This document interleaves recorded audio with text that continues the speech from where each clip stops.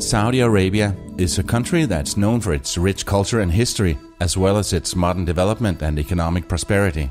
But while the country has made economic and social progress in recent decades, it's also important to recognize that every country has its own set of issues and challenges. Hi, my name is Palle Bo, and I've started launching episodes about my visit to Saudi Arabia. And in the first one that came out on Tuesday, it may have sounded like there's nothing bad about the country. And even though I loved my visit and met some of the friendliest people I've ever met, there are still challenges. In this episode, I'll share what I think is both good and bad about Saudi Arabia. This is the Radio Vagabond. It's important to note that this is my take on it. The list might not be complete on both ends. So I hope that you'll join the conversation and let me know if you think I've missed something. But we'll get back to that in the end. Let's dive in and start with some of the things that are good about the Kingdom of Saudi Arabia. Culture and history. Good. Saudi Arabia is home to a number of historical and cultural sites that are of great importance to the country and the region. The city of Mecca is the holiest site in Islam and the birthplace of the Prophet Muhammad. Medina, another city in Saudi Arabia, is also considered a holy city and is the burial place of the Prophet Muhammad. These cities are of great significance to the Muslims around the world and are a source of pride for the country. Economy. Good. Saudi Arabia is a major player in the global economy with a GDP of over 800 billion US dollars. The country is rich in natural resources, particularly oil, which accounts for a significant portion of its wealth. The government has also invested heavily in modernizing and diversifying the economy with initiatives aimed at boosting tourism, technology, and other sectors. As a result, Saudi Arabia has a high standard of living and a strong infrastructure. Education. Good. Education is a priority in Saudi Arabia, with the government investing heavily in the education sector. The country has a number of top ranked universities, including King Abdullah University of Science and Technology and King Fahd University of Petroleum and Minerals, which are known for their research and innovation. The government also provides free education to all citizens from primary school through to university. Now let's look at some of the bad sides. There are also a number of issues that have been the subject of criticism and concern. Let's have a look at some of the things that might not be good about Saudi Arabia. Treatment of women. Bad. One issue that has received significant attention is the treatment of women in Saudi Arabia. The country has a strict system of gender segregation, and women are subject to a number of legal restrictions and limitations on their freedom of movement and expression. For example, women in Saudi Arabia are required to have a male guardian who has the authority to make decisions on their behalf and to control their movements. Women are also required to wear traditional head covering, known as a hijab, in public. Lack of political freedoms. Bad. Another issue that's been the subject of criticism is the lack of political freedoms in Saudi Arabia. The country is an absolute monarchy and political parties are not allowed. There's also no independent judiciary, and human rights groups have reported cases of arbitrary detention, torture, and other human rights abuses by the authorities. Treatment of migrant workers. Bad. There's also been a concern about the treatment of migrant workers in Saudi Arabia.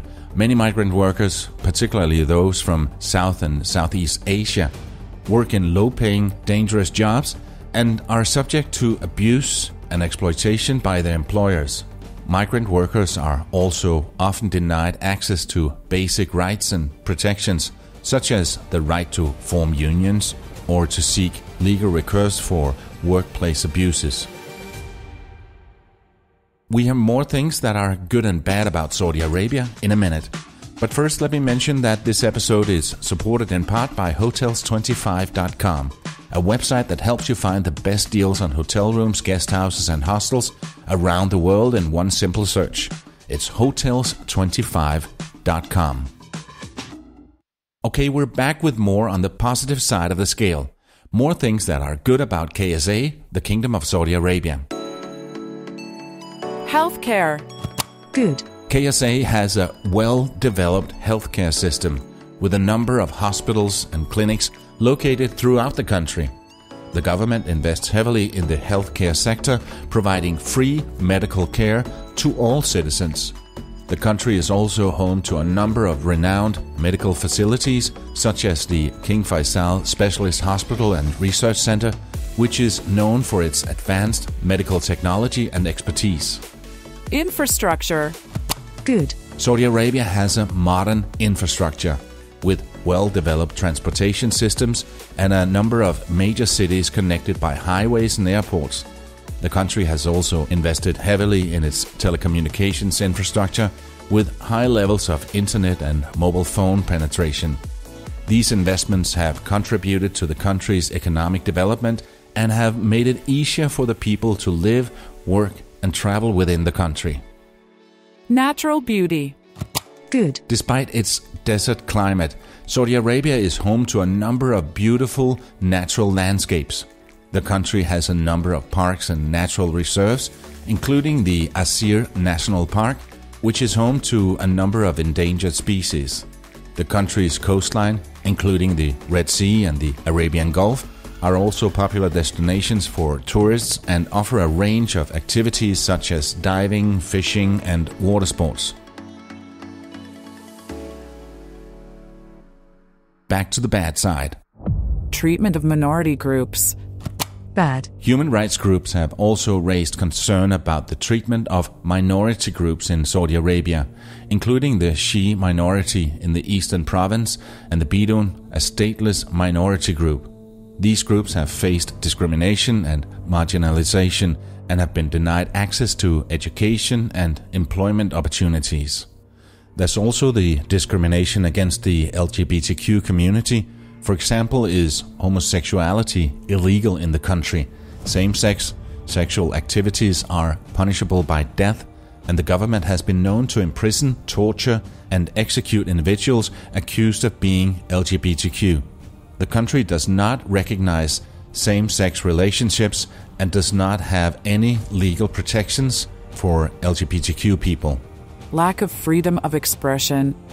Bad. Another issue that has been a source of concern is the lack of freedom of expression in Saudi Arabia.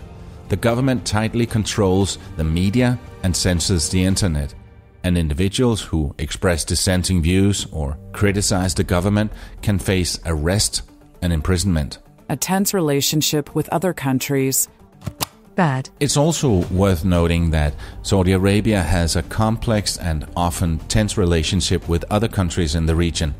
The country has been involved in a number of conflicts and disputes, including the ongoing conflict in Yemen, and has been accused of supporting extremist groups and interfering in the international affairs of other countries. Overall, Saudi Arabia has made a significant progress in recent decades, and they have big things happening in their 2030 plan that I talked about in the episode a few days ago. Saudi Arabia is a country with a rich culture and history, a strong economy, and a well developed infrastructure. It's home to a number of historical and cultural sites, top ranked universities, and renowned medical facilities. The country is also home to a number of beautiful natural landscapes. But there are still issues that have been the subject of criticism and concern treatment of women, lack of political freedoms, treatment of migrant workers and minority groups, and the lack of freedom of expression. Its modern development and initiatives to boost tourism has helped. In my opinion, it's important for Saudi Arabia to address the problematic issues and work towards a more just and equitable society if they really want to make it a dynamic and attractive place to live and to visit. These are my opinions based on my experiences visiting the country and the research I've done. You might disagree. Did I miss something, good or bad? Please let me know either on the Radio Vagabond on Facebook or by sending me a message via theradiovagabond.com slash contact.